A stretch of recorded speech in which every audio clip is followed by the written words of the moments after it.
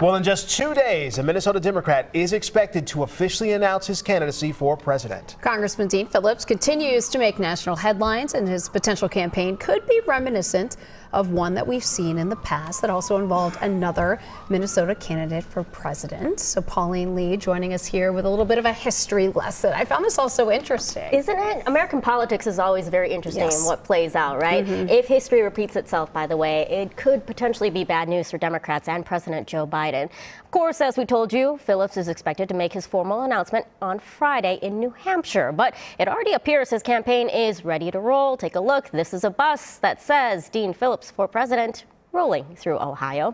Minnesota woman traveling through the state spotted it and shared it with WCCO Radio's Jason DeRusha.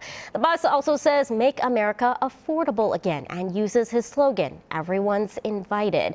Now, his run, of course, for the White House is starting to look and sound like a lot what happened, like a lot of what happened in 1968. That year, we had a Democratic president, Lyndon Johnson, running for re-election.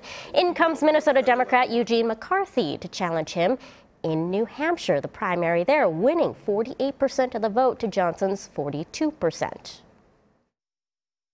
Johnson then dropped out three weeks later, and uh, that opened the door for a bunch of other candidates.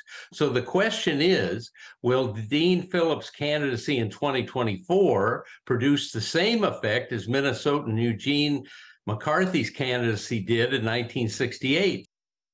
I mean, there's always a chance, right? So, how does the president feel about it? He hasn't commented yet, of course.